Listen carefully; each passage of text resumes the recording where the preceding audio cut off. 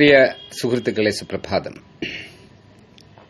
നമ്മുടെ ജീവനും സ്വത്തിനും നമ്മുടെ കുഞ്ഞുങ്ങളുടെ ഭാവിക്കും വിഘാതമായി ഒരു വലിയ വിപത്തായി നിൽക്കുന്ന മുല്ലപ്പെരിയാർ ഡാമിനെ പറ്റി സാങ്കേതിക വശത്തെ പറ്റിയാണ് ഞാൻ സംസാരിക്കുന്നത്. ഒരു ഡാമിന്റെ പിന്നിൽ രണ്ട് സാങ്കേതിക വശങ്ങളുണ്ട്. ഒന്ന് അത് രൂപകൽപ്പന ചെയ്യുകയും ഉണ്ടാക്കുകയും അത് മെയിന്റെയിൻ ചെയ്യുകയും ചെയ്യുന്ന മേഖല. അതാണ് സിവിൽ എഞ്ചിനീയറിംഗ്. പിന്നെയുള്ളത് ആ ഡാമിൽ സ്റ്റോർ ചെയ്യുന്ന വെള്ളവും ആ വെള്ളത്തിന്റെ പ്രഷറും പിന്നെ വെള്ളത്തിന്റെ ചലനവും ഒക്കെ അസസ് ചെയ്യുന്ന ഒരു മേഖലയാണ് ഹൈഡ്രോഡൈനാമിക്സ് ആ ഒരു മേഖലയിലാണ് ഞാൻ ഡോക്ടറേറ്റ് എടുത്തിട്ടുള്ളത്. നമ്മളൊരു ഡാമിന്റെ മുകളിൽ കൂടി ഒരു ടൂറിസ്റ്റായിട്ട് പോകുന്നു. നല്ല സുന്ദരമായ കാഴ്ച. വളരെ സ്റ്റില്ലായി ഒരനക്കവും ഇല്ലാതെ നിൽക്കുന്ന വെള്ളം. വളരെ പ്രകൃതി രമണീയമായിരിക്കും. പക്ഷേ ആ വെള്ളത്തിന്റെ അകത്ത് ഒരു വലിയ എനർജി ഉണ്ട്. ആ എനർജിയുടെ പേരാണ് പൊട്ടൻഷ്യൽ എനർജി ഈ പൊട്ടൻഷ്യൽ എനർജി ഒരു പൊട്ടൻഷ്യൽ ഡേഞ്ചർ കൂടിയാണ്. Energy can neither be created nor destroyed എന്നാണ് സാങ്കേതിക ശാസ്ത്രത്തിൽ പറയുന്നത്. അതാണ് സത്യവും. ഒരു എനർജിയെ നമുക്ക് ഉണ്ടാക്കുവാനോ അതിനെ നശിപ്പിക്കുവാനോ നമുക്ക് സാധിക്കില്ല. പക്ഷേ എനർജിയെ കൺവേർട്ട് ചെയ്തെടുക്കാം. അങ്ങനെയാണ് ഈ പൊട്ടൻഷ്യൽ എനർജിയെ കൺട്രോൾ ചെയ്ത് തുറന്നുവിട്ട് ഇലക്ട്രിക്കൽ എനർജിയാക്കി നമ്മൾ മാറ്റുന്നത്. പക്ഷേ ഒരു ഡാം പൊട്ടുമ്പോഴുണ്ടാകുന്ന അവസ്ഥ മറ്റൊന്നാണ്. ഈ പൊട്ടൻഷ്യൽ എനർജി മുഴുവൻ കൈനറ്റിക് എനർജിയായി മാറും.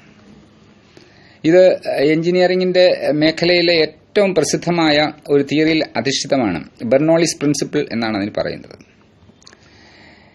ഈ കൈനറ്റിക് എനർജി എന്ന് പറയുന്നത് ഡിസ്ട്രക്റ്റീവാണ് അതിന്റെ ഒരു ചെറിയ രൂപമാണ് നമ്മൾ ഈ അടുത്തിടെ കണ്ടത്. അതായത് ഇവിടെ ഉണ്ടായിരുന്ന പത്ത് മുപ്പത്തിരണ്ട് ഡാമുകളുടെ ഷട്ടറുകളെല്ലാം ഒരു കൺട്രോളും ഇല്ലാതെ തുറന്നുവിട്ടു. അപ്പോൾ ഈ അവസ്ഥയാണ് അത് മുപ്പത്തിരണ്ട് ഡാമുകൾ തുറന്നുവിട്ടത് ഉണ്ട ഇപ്പോൾ ഉണ്ടായത് എങ്കിൽ ഇതെല്ലാം കൂടെ പൊട്ടിയാലുള്ള അവസ്ഥ എന്തായിരിക്കും? അതങ്ങനെ പൊട്ടുന്ന ഇടുക്കി ഡാം അതിനെ തടഞ്ഞു നിർത്തിക്കൊള്ളുമെന്നാണ് ചില വാദഗതികൾ. ഒരു ഡാം ഡിസൈൻ ചെയ്തിരിക്കുന്നത് ഒരു സ്റ്റിൽ വാട്ടർ കണ്ടീഷനെ തടഞ്ഞു നിർത്തുവാൻ വേണ്ടിയാണ്. പക്ഷേ മുല്ലപ്പെരിയാർ ഡാം പൊട്ടിക്കഴിഞ്ഞു കഴിഞ്ഞു കഴിഞ്ഞാൽ വരുന്നത് കൈനറ്റിക് എനർജി ഇടുക്കി ഡാമിൽ ഓൾറെഡി ഒരു പൊട്ടൻഷ്യൽ എനർജി അവിടെ ഇരിപ്പുണ്ട്. അപ്പോഴാണ് അതിന്റെ കൂടി കൈനറ്റിക് എനർജിയും കൂടെ കയറി വരുന്നത്. ഒരു ഡാം കൈനറ്റിക് എനർജി തടഞ്ഞു നിർത്തുവാൻ വേണ്ടി ഡിസൈൻ ചെയ്തിട്ടുള്ളതല്ല. അതുകൊണ്ട് തന്നെ ഇടുക്കി ഡാം പൊട്ടുമെന്നുള്ള കാര്യത്തിൽ ഒരു തർക്കവുമില്ല. പിന്നെ അത് അതിനോടുകൂടി അതിന്റെ താഴോട്ട് വരുന്ന ഡാമുകളെല്ലാം പട്ടപട്ടപ്പെട്ടേന്ന് അങ്ങ് പൊട്ടും.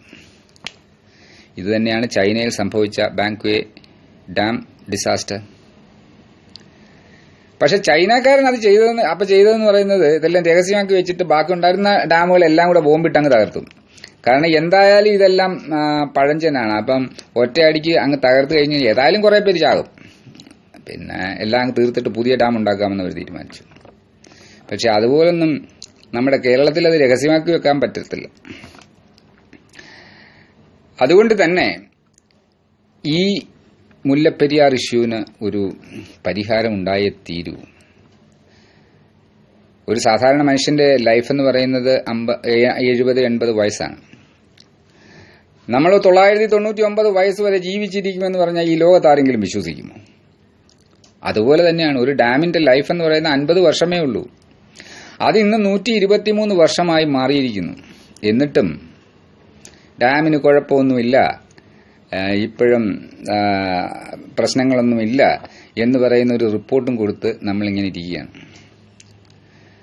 സുപ്രീം കോടതിയുടെ ഫ്രണ്ടിൽ ഈ ഡാമിന്റെ ലൈഫ് എത്രയാണ് എന്ന് പറഞ്ഞ ഒരു റിപ്പോർട്ട് ഇതുവരെ ചെന്നിട്ടില്ല. ചെല്ലാത്തതിന് കാരണം നമ്മളുടെ ഗവൺമെന്റ് ഇൻട്രസ്റ്റ് എടുത്തിട്ടില്ല. അതുകൊണ്ട് തന്നെ എന്തുകൊണ്ട് ഇൻട്രസ്റ്റ് എടുത്തിട്ടില്ല എന്നുള്ളത് മറുചോദ്യം പക്ഷെ നമ്മുടെ ഗവൺമെന്റിനും നമ്മുടെ മാധ്യമങ്ങൾക്കും ഏറ്റവും ഇൻട്രസ്റ്റ് ഉള്ള ഒരു വിഷയമാണ് ഈ സ്ത്രീ വിഷയം. ഇപ്പൊ ബിഷപ്പിന്റെ സ്ത്രീ വിഷയം കഴിഞ്ഞ് കഴിഞ്ഞപ്പോൾ ശബരിമല സ്ത്രീ വിഷയം. മണ്ണാൻ അലക്കൊഴിഞ്ഞിട്ട് നേരമില്ല എന്ന് പറഞ്ഞ പോലെയാണ്. പ്രിയ സുഹൃത്തുക്കളെ നമ്മളുടെ ജീവനും സ്വത്തിനും നമ്മുടെ കുഞ്ഞുങ്ങൾക്കും സംരക്ഷണം തരേണ്ട നമ്മളുടെ ഗവൺമെന്റ് തന്നെയാണ് നമ്മുടെ ഇന്നത്തെ ഒന്നാമത്തെ ശത്രു. ആ സ്ഥിതിക്ക് അവരിൽ നിന്ന് ഒന്നും പ്രതീക്ഷിച്ചിട്ട് കാര്യവുമില്ല. നമ്മൾ ഉണരുക. സേവ് കേരള എന്ന ഈ മൂവ്മെന്റിനെ നിങ്ങൾ സപ്പോർട്ട് ചെയ്യാം എല്ലാവിധ സപ്പോർട്ടും ചെയ്യുക. ഇതൊരു ജനകീയ വിചാരമായി മാറണം. വികാരമായിട്ടല്ല ഇത് മാറേണ്ടത്. അതിനുള്ള തുടക്കമാണ് നടന്നുകൊണ്ടിരിക്കുന്നത്. നിങ്ങൾ അതിന്റെ ഭാഗം ചെയ്യുക നന്ദി നമസ്കാരം.